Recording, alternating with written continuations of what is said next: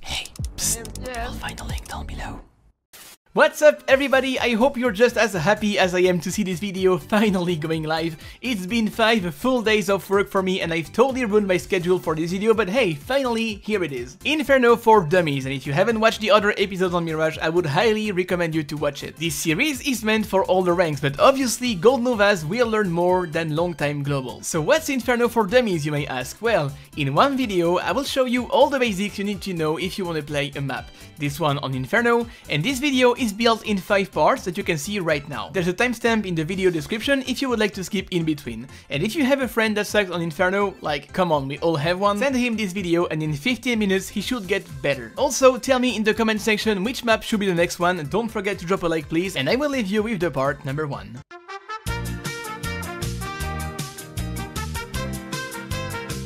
Inferno has seen a lot of changes through time, from 1.6 to CSGO and its last revamp in October 2016, but the layout itself didn't change this much. It's always been a map mixing close range fights, lots of corners and easy ways to fall back to a passive position or a cover. But it's always a map that has delivered during tournaments, especially on CSGO, and the current meta allowing a powerful rush with only pistols must help in that sense. Playing Inferno, you will have to remember this, map control and utilities, these are the keys. Map control, because as I've said a billion times in my videos, if you leave banana open to the CTs they can deny you with just one smoke and let the other guy to rotate. And utilities, because without it you wouldn't be able to counter a passive defensive playstyle. Inferno is kind of a map built for Frenches, because you can retreat after every fight. LOL!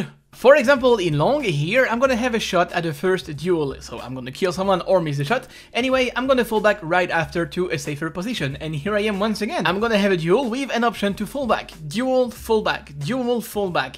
This is how it plays out. What about short? Well, it is the same. Duel, fall back, duel, fall back, until you're trapped. And what about banana? Well, the exact same stuff. Duel, fall back, duel, fall back. It is very easy to find the duel and then fall back, you get it. The whole map allows you to stay alive even if if the Ts are pushing on you. I'll take for example Dust 2. What fallback options have you got there? Pretty much none. You're doomed to commit to your duels unless you dig a tunnel, there's not much you could do here. Map control is also something very important on Inferno. If you don't challenge Banana or Apartment, you don't know what's happening and it's very easy for a CT to push and take useful infos. You see, CSGO is not just about the frags. If I push Banana and hold the visual on T-stairs, I will call my teammate to rotate, I'm gonna stay here alone and even if I don't kill anyone, the intel I'm gaining here will be decisive in the round. Yes, I won't have any kill, but surely my move will help my team a lot. And apartments works the exact same. I see a lot of people being afraid of going in apartments, so they end up camping outside, they are afraid to go in, and at some point in the round they will realize there's only 40 seconds left, so they find themselves having to push like crazy inside apartments,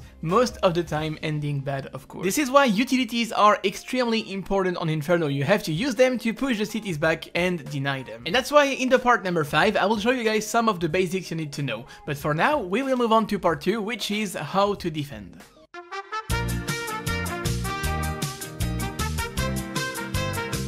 As I said before, defending on Inferno offers you to fall back and especially on the A site will be extremely efficient. The usual way of holding it is adaptive to your current map control.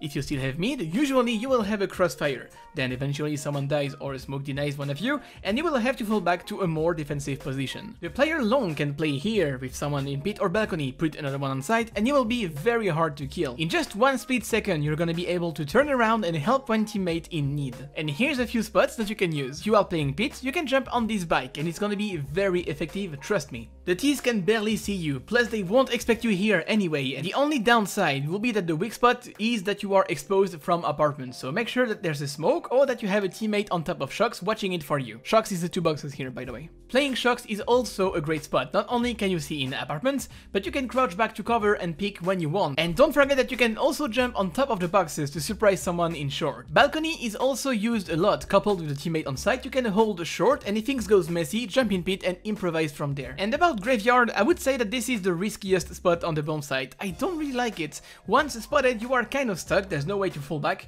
but also worth noting that you can get wallbanged with that wall here. You're not really gonna be safe here. And for the long player, you're gonna have different spots. This corner is of course a dead trap. Simple molly will be enough to get rid of you. I would say that you can use the spot, but the moment you lose mid control is the moment you have to get out of here. If your teammate lost the crossfire with you, you're gonna be alone without anywhere to fall back. So instead, you wanna stay to this corner. And then you're gonna have library and arch, and they are both kind of special to play. By the way, if you don't know, there's a tiny gap here that allows you to see a little bit of arch, just so you know. But if your goal is to play defensive and help your teammates, I would recommend you to stay here. Just be aware that you are going to be exposed from apartments if you are too close to the wall. From here you can support apartments, you can support long while holding short and that's going to be extremely convenient for your teammates during a rush. So what about B? The banana is a very strategic spot of the map. It's very tight, not that many corners to hold, but whoever holds it secures a certain advantage for the round. As a CT, just like a T, you will have the need for utilities if you're gonna play it. At the beginning of the round, make sure that you are buying what you need. I would recommend you one smoke, one molly, one nade. Buying these will help you a lot to hold it, but also make sure that you communicate with your teammate. You have to play together, you really do. I would recommend one of you throwing a molly and the other one throwing a nade nade in the first place, and here's why. If the T's are coming to banana early, the nade will slow them down, they're gonna run slower, and then the molotov will make them burn if they keep pushing forward. If they wanted to cross the molly, the nade will ruin it for them, so from now on you've denied their rush. You are in control and you can set the pace.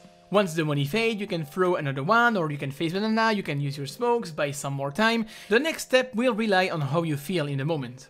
I'll just give you a few tips though. If you want to clear banana, throw a smoke this way, a molotov like this, flash yourself in and you will only have the left side to check, making your life way easier. If there's a smoke close to the wall, you can boost your teammate. Watch out though because this wall is very well bangable, if that's a word. I'm not sure. And if even with this you can't hold banana, ask another teammate to join you. Hold it with three guys at the beginning and once the thing are secured, he's gonna rotate. This is actually very common and especially for the pistol round by the way, so take care. If the T's are putting too much pressure and if it's getting too risky, maybe you're getting out of utilities, now will be the time to fall back. So what about the passive defense? If you have an AWP, you can take a peek here, but as soon as you shoot, you must rotate. Don't face again. There's gonna be a lot of spots to hold the site. You can boost a teammate CT, so if they smoke you can see above, you can hide here, you can hide there, new boxes behind the pillar, shadows, pools, and what that surprises them a lot is crouching behind the fountain. During a B push, the T's are very likely gonna smoke CT and spools, and this is why I don't like the setup with one spool and one CT. It will only take two smoke and you will be out. Instead, I would recommend putting someone on site, like new boxes or shadow, those are very efficient spots. I'll finish by saying this, the role of defenders of a bomb site isn't to kill everyone. On B, you're gonna be 2 versus 5, we don't expect you to kill all 5 of them. What we want from you though is communication and buy as much time as possible while trying to kill at least 2 or 3 of them. Get a frag, relocate, throw a flash, buy more time for your team.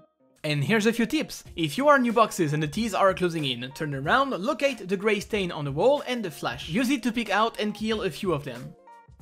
You can flash like this. Staying shadow, you can see if a T comes in that corner. If they are planting the bomb, you can bounce a nade or molly this way.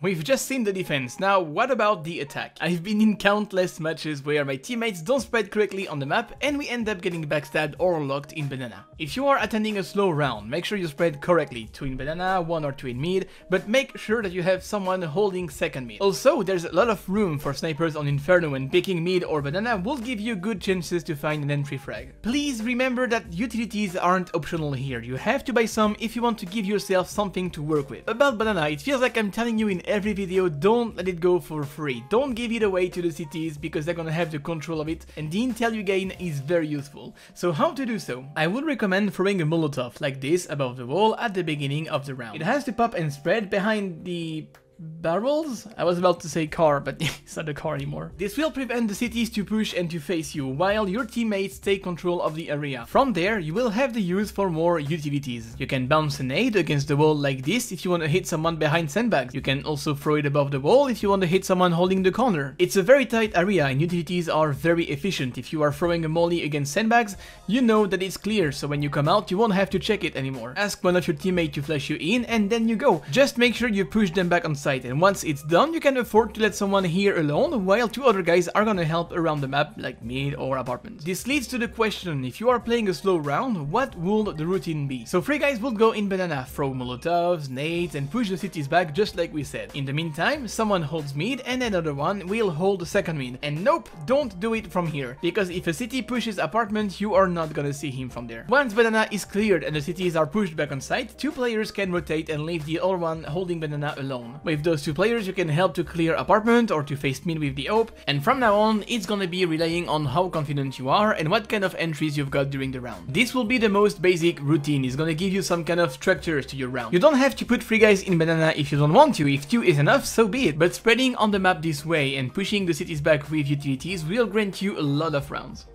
And here's a few things that I find very useful for the T side. Even in global, when I ask for a CT smoke, you will find a lot of guys throwing it like this. And that's of course a big no. It's such a huge risk, you are picking with a smoke in your hand, if someone holds it, you are dead. And even if you're not dead, you're gonna panic and you will miss the smoke. Learn how to smoke it, it's very simple and I will show it in the part number 5. There's a smoke that I use a lot to push out of apartments. Stand on the crack, turn around, throw your smoke like this, and then you can use a flash to throw it the same way. It allows you to peek out of apartment while seeing pit and this is very efficient. When pushing short, facing a player is a pain in the ass. This is why you have to use utilities. Throw a molotov or maybe a flash, why not a nade if that's all you have, but make sure that you use utilities to help yourself in that situation. Once the bomb is planted, you can use the spot on the bike. It's very efficient because they won't see you here, they won't expect you here either, and you can see them pretty well. You can also stand on this box on the bomb site if you want to see in library and surprise someone. One final tip is that you can bounce a molly against the skybox here if you are retaking the bomb site, a smoke will work as well.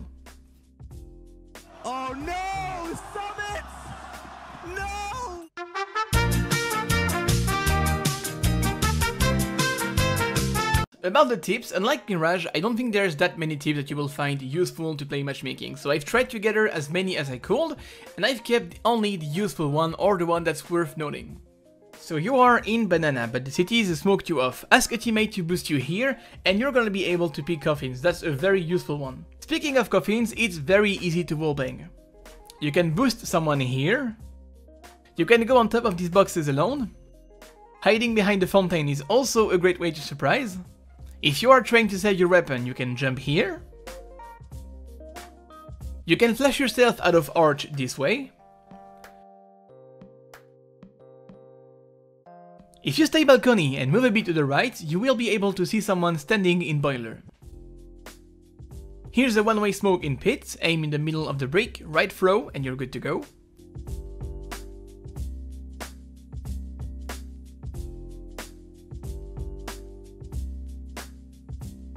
If the T's are coming short and you are trapped in pit, you can bounce a flash against the door and get some easy frags. You can boost someone on top of the roof and you can jump yourself here, but I must say it's very hard. Instead, ask to a teammate to boost you on the rooftop, then you can jump on your own and from there you can surprise someone facing mid for sure. If there's a smoke short, you can jump on top of the wood and maybe you'll be able to see above.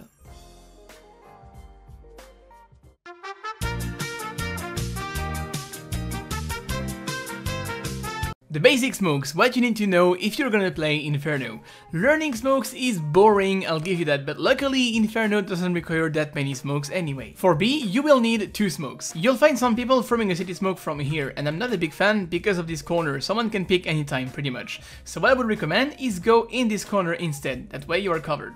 You'll have to aim up so you'll find this edge, go a little bit down, then left and throw. The smoke is gonna land CT, and you can throw it while being safe, and it's gonna cover CT entirely. To attack B, you're also gonna need one more smoke, which is gonna go coffins. So to do so, you will have to locate this brick, you'll have to place yourself on this edge, now turn around, look at the tree, you will have to aim precisely here and simple throw. Since it's a simple throw, it's gonna work for both 64 and 128 ticks, and it will cover spools of course. For the A side, you will need a smoke long, short and arch. About the smoke long, there's gonna be two smoke, one that is safe and one that's a little bit less safe. So if you wanna begin with the safe one, you will have to go on top of balcony, so make sure you don't miss your jump, which happens quite a lot. Then place yourself on this edge of the balcony, look up so you can find the flower pot and place your crosshair on the left side of it. Here, throw, and you're good to go. The smoke is gonna bounce a couple times and totally cover you from long. If you're having mid control or if someone is with you, you can hug the wall on the right side and as soon as you see the pillar, throw the smoke against it. Just make sure that you are aiming above this rooftop here, bounce it against the pillar and you're good to go. You don't have to be that precise, you can just throw it pretty much randomly. As soon as you see the pillar, you can bounce it against and it's gonna smoke off long. Always. If you want to go long, you will also find very useful to smoke arch, so to do so, you will have to find the edge of this wall, line up against it, and you will simply aim here. Throw, and you're good to go. That's of course going to be very useful if you want to go back on the A site. If you want to smoke short, you will have to get yourself in this corner. Once you're in, like this, make sure you are stuck, turn around, You'll have to locate those two, whatever this is, and aim on the bottom right of this one. Throw, and profit. And that's all you need to know, these are the basics, and if you are watching this video, it means you're willing to improve, and that's something good. But make sure you give yourself the means to. Learning smokes isn't the best part of the game, yet it's necessary. And that's it for this episode of Inferno for Dummies, I really hope you guys liked the video. Just a cheeky reminder that there's another episode on Mirage, and that you can support me by leaving a like on this video and sharing it with your friends. I'll see you next time, thank you again for watching, and take care guys.